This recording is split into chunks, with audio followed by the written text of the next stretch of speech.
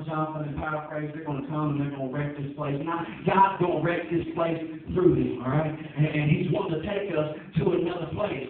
He's wanting us to really worship in the Spirit and dig deeper and cry out with the right motives, all right? Don't just come to God saying, God, I want your blessings. God, I want you to fix my life. I want you to fix my problem. Some of y'all are just so focused on your problems and so focused on what the devil's doing that God can't do nothing in your life.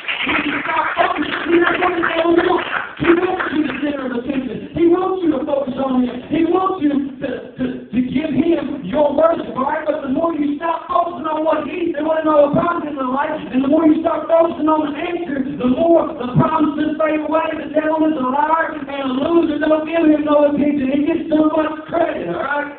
The devil may be good whatever. You need to give your heart to the Lord and focus on him, all right? Preach it, brother. Amen. I don't even know where I was at. All right, what does it mean to worship in the truth? See, it's not just the spirit. You got to worship in the truth as well. There's two sides of the coin. It's not just it's, a lot of people got all spirit, but they ain't got no truth. All right. And because of that, they're easily deceived by the enemy. What's the truth? Where do you find the truth? You find the truth in the written word of God. You find the truth in the commands of God. Right. Jesus says, I am the way, the truth, and the life. What does he mean? He says that he, he means that he is the person who lived out the example and followed the example of what living by the truth is really all about. The Word of God, the commands of God, the heart of God. And it says this in Hosea, and listen, you can't worship in the truth unless the truth's in you. Just like you can't worship in the Spirit unless the Spirit's in you. All right? You got to get the truth in you. And how do you get the truth in you? Not by letting it collect dust on your coffee table or collect dust on your bookshelf. You got to pick up that word and you got to crack it open and you got to let it pour into you, all right? You got to let it pour into you. Hosea 4 and 6 says this. My people are being destroyed for lack of knowledge. Because you have rejected knowledge, I will also reject you from being my priest. He says, My people are being destroyed just because they don't know the truth, just because they don't know any better. They have lack of information. They don't know that I have a plan and a purpose for them, I got something that they need to be focused on, all right? I was out there killing myself on drugs and alcohol, trying to find my purpose and, and acceptance in the world and peace in drugs and alcohol because I didn't know the truth that God had a plan for me, that God had something better for me, all right? That He created me to be something better than that. I didn't know the truth, so I was killing. And so many people are killing themselves just because they act like an So many people in the church are allowing the thieves to still get them destroyed from their life because they don't know the truth about that certain area of their life, all right? You don't know the truth about how your relationship is supposed to look. You can guarantee the devil's going to show up, wreak havoc in your relationship. You can be deceived about how you're supposed to operate in a relationship if you don't know the Word of God about how you're supposed to operate. Listen, if you ain't got no Word of and work with in your life. It's like you got the jobber, but you ain't got the map. Come on. You need the Word in your life. And I know you get the good word here on Sunday mornings and whenever else y'all have church, but listen, if you just do it like one or two hours or four or five if it comes to Garrett Church of God, all right? If you're just doing that many hours in a week, but you're spending the rest of the time out in the world, what influence is going to dominate in your life, all right? Come on, you got to crack that word open yourself. You got to read it for yourself. You got to carve out time in your schedule make time for the Word of God so you can worship according to the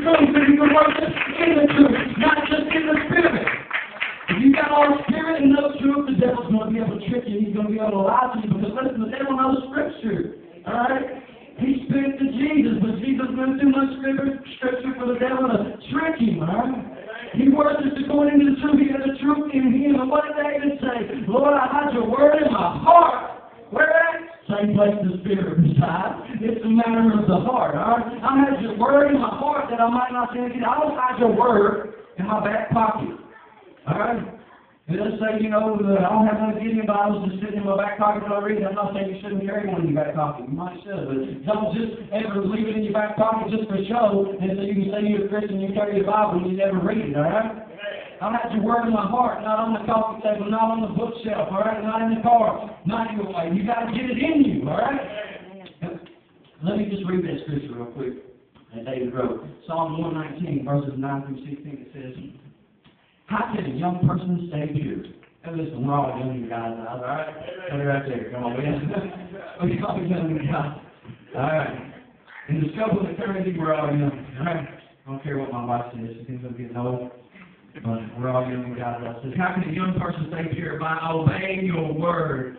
I have tried hard to find you. Don't let me wander from your command. By hidden your word in my heart that I might not sin against you. I praise you, O Lord. Teach me your decrees. I have recited aloud all the regulations you have given us. I have rejoiced in your laws as much as in the riches. I, I will study your commands and reflect on your ways. He says, I'm going to study your word and reflect on what I've been reading, all right? He's making time to get the truth in him so he can worship in the truth, all right?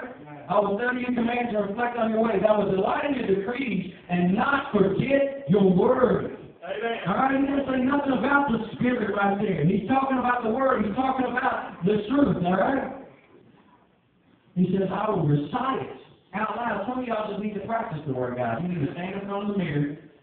I don't care how goofy you feel, you know, or what people might say about it. You need to stand in front of the mirror and practice it. That way it's just not something you read with your eyes. It's something that's inside of you, right? Something that you can, something, because if God puts it in you, He's to be able to bring it out to you when the human moment comes through, and you need to make a decision and worship according to the truth out there in life, all right? Worship according to the truth. So you start to see, listen, James says this.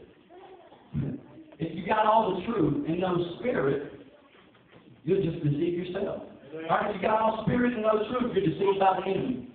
If you got all truth and no spirit, you just deceive yourself. All right, how many of y'all know, man, I know there's a lot of people, maybe I even used to be like this before that, you know, I knew a whole lot of the word, but I wasn't allowing the Spirit to reign in my life as well. I wasn't worshiping in the Spirit. And, and it's bad, it's, it's sad to see somebody who knows the Word and can see how, you know, other people's lives don't line up with the Word of God, but they won't let the Holy Spirit tell them how they don't line up with the Word of God, all right? Come on. I know y'all know some people like that, all right? They can see how everybody else's life don't line up with the truth, but they can't see how their own life don't line up with the truth. It's because they got all truth and no spirit. Listen, the Spirit didn't come into this world to give you life to be the spiritual police for everybody else. He's here to convict you and correct you. He's here to lead out and direct you. He's here to take the word that you'll put in you and, and use it as a map for you to live by. All right? You're going to worship in the Spirit and the truth. And James says this in James chapter 1, verse 22. He said, But don't just listen to God's word. You must do what it says. Otherwise, you're only fooling yourself. All right? You got all the truth and no spirit to help you live it out. You know, you're only fooling yourself. So you start to see how the word and the spirit work together. The spirit and the truth work together inside your heart to clean you up.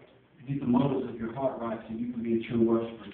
So you can be a living sacrifice. So you're not coming to God bringing those dead sacrifices that He don't want anyway. Coming with the wrong motives, just wanting the blessings and not the blessings, just wanting the promises and not the promises.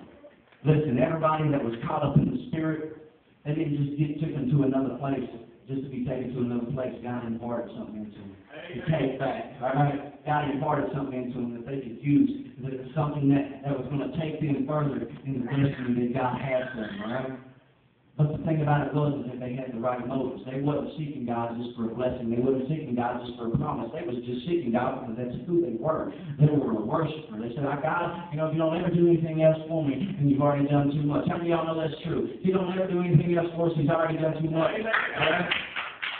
And we should just want to worship Him because of that. We come with the right motive when we're not seeking with the wrong motive in our heart because the Word and the Spirit has cleaned up our heart. Then He wants to take us to another place. Then He can trust us to give us something from another world to bring back to this world. All right?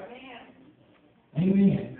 We need get something from another world. And not just, I'm not talking about, you know, aliens and And, you know, I'm not talking about Pandora and, and Avatar, all right? I'm talking about the kingdom of heaven. I'm talking about something that's realer than me and you sitting here today, all right?